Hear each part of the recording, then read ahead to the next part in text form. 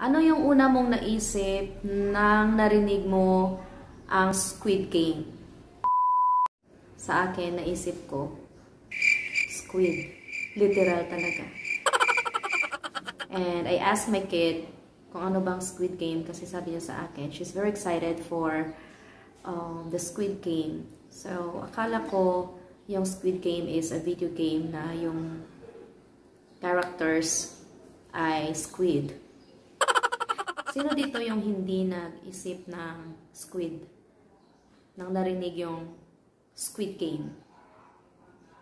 Please comment down below kung ano yung una mong naisip nang narinig mo yung squid game na words. Please write your comment and sa next vlog ko, I'm gonna read your comments.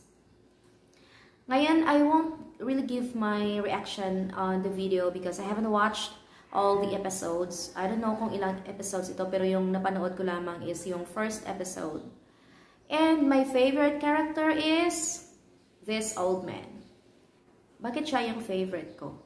Dahil noong nag-game na sila, he looks cool and he looks very confident.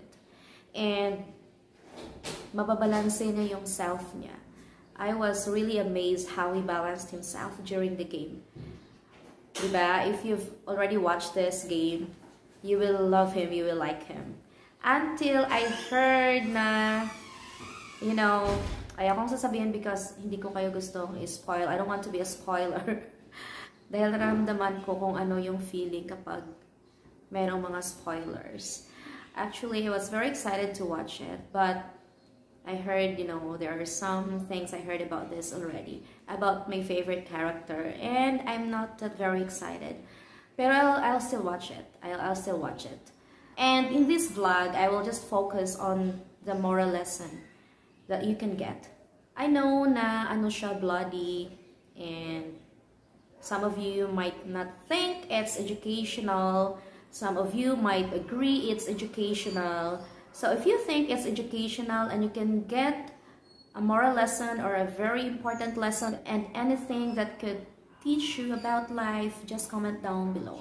If you think it's educational, then please write your comment and please write your reason kung bakit it's educational. And to those who disagree that this movie is educational, then please write a comment.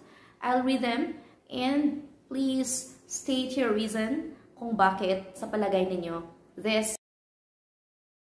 Squid Game is not educational.